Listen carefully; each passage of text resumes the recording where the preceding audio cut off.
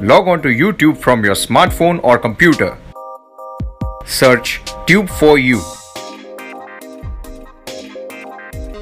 Hit that subscribe button and do not forget to hit the notification bell on so that you can stay updated to the latest updates from Tube for You.